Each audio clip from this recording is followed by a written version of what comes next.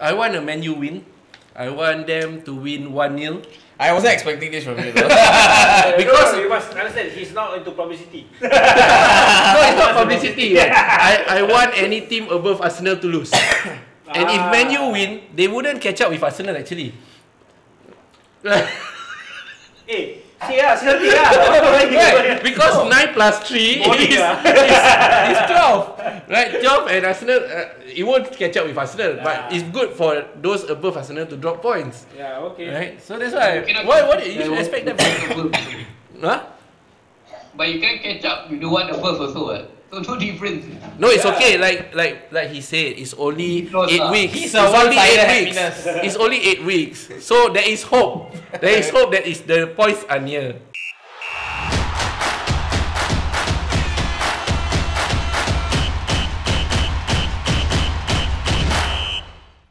In 12th position, nine points uh, above relegation zone, but uh, after eight games, there are other teams that are nine points, seven, eight Yeah. points, right? Yeah. So if you lose in this game and other teams below you win, you might go Yep. to the bottom four. Yep. Right, Yep. bottom Yep. four. Uh, I think Liverpool in terms of points, 24 points, uh, 8 point gap, I think.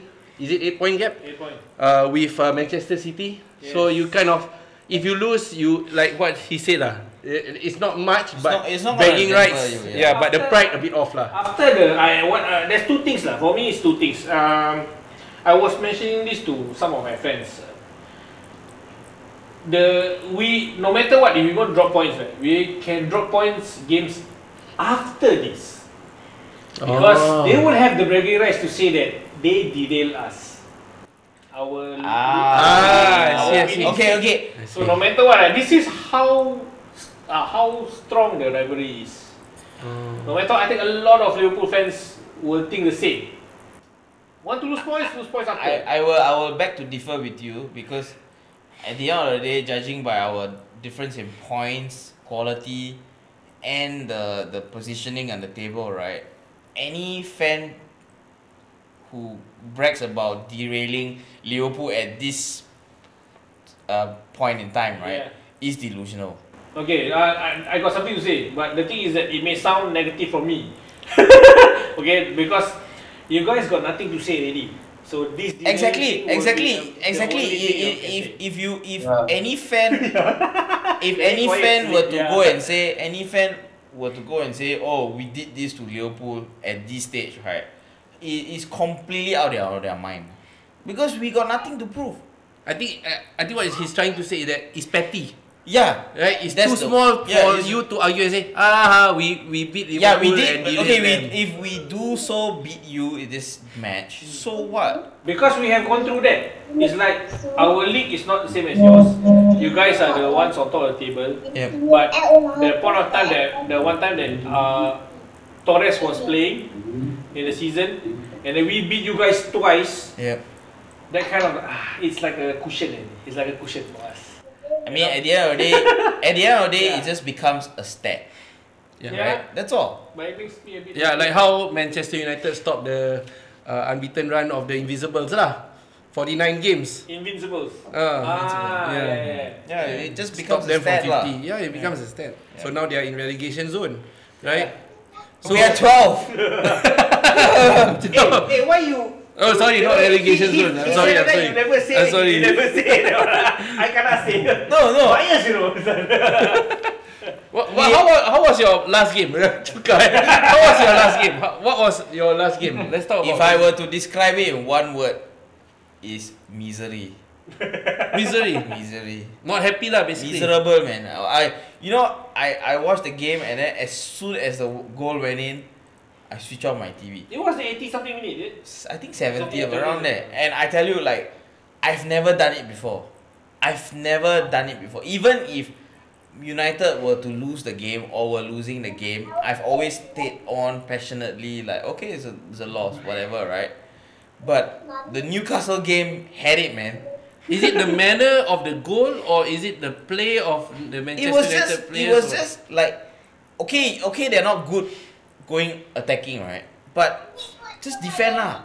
Ah. You know what I mean? Like that is when I, I just want to. defend. Correct or not? If you're not expecting the same defense to to hold 60 minutes in Liverpool. okay, okay. Maybe lah. Maybe we got two. You got. You guys got two weeks to Yeah. prepare. Yeah. Um, I think we, for the past couple of games, we have not been uh, taking our chances.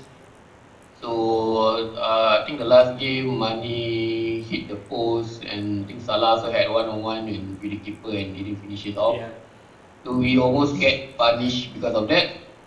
So luckily we got uh, the penalty last minute uh, to win the game. So I, I'm hoping that uh, going forward we would take our chances and not waste it. Guys? Uh, You agree? I agree. Yeah. I agree because Even our I attack- agree. Yeah.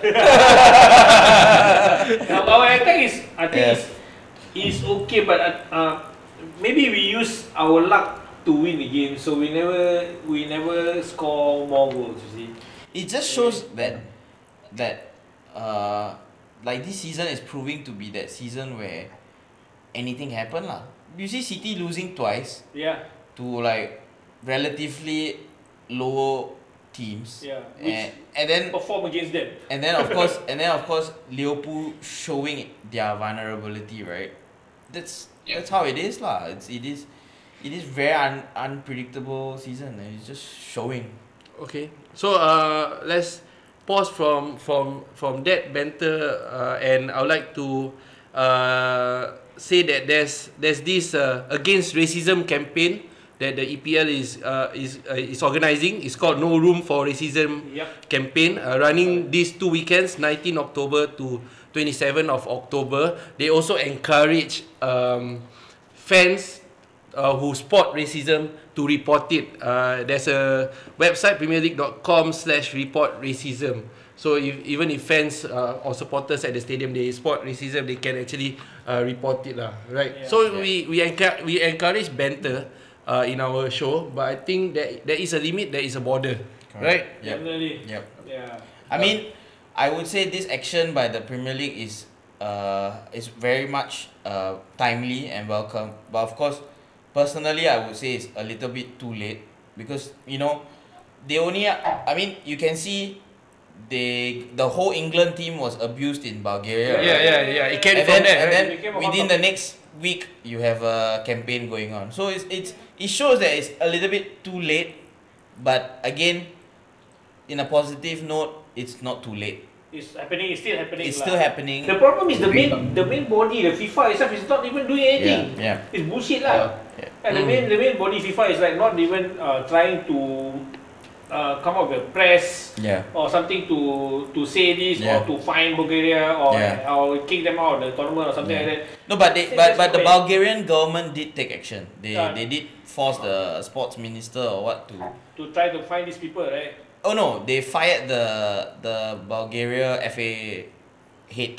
If I'm not Ah. wrong, he was made to resign. Oh, I see. Yeah. Because so they- I mean, it's embarrassing lah. it's embarrassing. It's I mean, embarrassing. I mean, It's we live in. Singapore and KL. I mean, in Malaysia and, and Singapore, uh, we all we will have to agree that racism is something that we all will would have dealt with in our life at any point of time, whether it's Yeah. in a in a personal space or at a workplace or at school. It's it's always there. But then, us in in Malaysia and Singapore, we've always been tolerant. We've always been happy together. Despite all this, we still don't tarot you like Yeah, this like one is like this is embarrassing. This Embarrassing. yeah, It's the what happened to the English players was really yeah, embarrassing. it's embarrassing. Yeah. I think don't don't be offensive, don't be toxic because Yeah. I don't think it really helps the game at all. Yeah, Definitely. You know, it really doesn't help, and Yeah. you are attacking the player yeah, based on race Yeah. and not on skills. Yeah, Yeah, it's- yeah. Personal. It gets into It's totally level personal. yeah. So I mean, uh, yeah. racism is one thing, but calling them like you know the monkey chants, right? Yeah, I mean that that yeah. blows my mind. I mean like, okay, he's dark skinned. Okay, he's he can be of an African descent uh, descendants, but how does that become? You can call him monkey. Yeah lah. Yeah. You know, it, it, it doesn't justify. It, Yeah, that yeah. really doesn't justify. bullshit, It- right? yeah. yeah.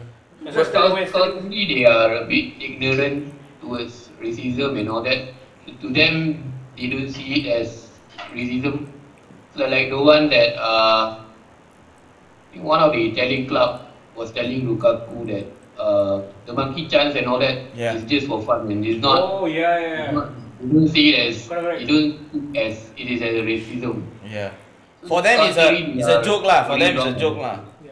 I think if that Yeah. person, if that ta- target, uh, the person being targeted, he finds it offensive, offensive, I Yeah. think it's racism. It is. Yeah, It is. because I think if he takes it into offense, Yeah, it's, It's not it's not the person who's saying the joke to judge. Yeah. It's the person The who's who's receiving, receiving. it. Yeah. When he feels offended, that means you need to apologize already. Yeah. Yeah. You need to say, okay, then something. Correct. I think we at Time Kiss, out. yeah, time out, yeah. man, yeah. time out, man. Kiss Yeah. my badge. We say we say no to racism and we Yeah. don't re- encourage racism at Yeah. all. We encourage banter. We Yeah. encourage mocking each other. You can clubs, man. you can poke fun, make fun, Yeah. all that, but never never get down to details like that that will harm the person's reputation, image, and their self worth. Like you cannot destroy a person's self worth. Three one. I'm To going, Liverpool. I'm going to be bold and say oh one three. Sorry. Uh, I'm going to be bold and say that uh, we are going to win, and it will be a score of Manchester United one, Liverpool three. because you are still not confident of your defense. Yes. Uh, keeping a clean sheet, right? yes. That's correct. why the one. What about you, Rafi? Uh, for me, similar uh, 2-1 for us to win. Okay. Uh, I think M- MU defense is quite uh, tight, so getting two goals is good enough as long as we win. So I'm fine. I like that. Satish, what do you get? What do you think? my What- my What's your score predict- prediction? My prediction is gonna be uh, I'm going for a draw, so I believe it will be like a one-one. I, I I've realized that for the past few games I've always been very optimistic and Oh, cautious. I yeah. I have been very cautious. I mean, Yeah. For the Newcastle game, I was going for like a narrow win and all that kind of thing. So they got their narrow win, not us. So uh, I am going for a draw. Definitely a draw.